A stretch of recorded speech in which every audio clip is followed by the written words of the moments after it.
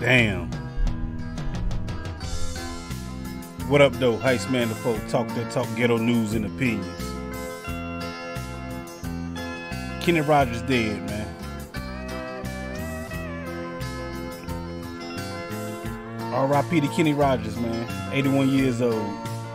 He gone, man. Fuck with your boy, Heist Man the folk.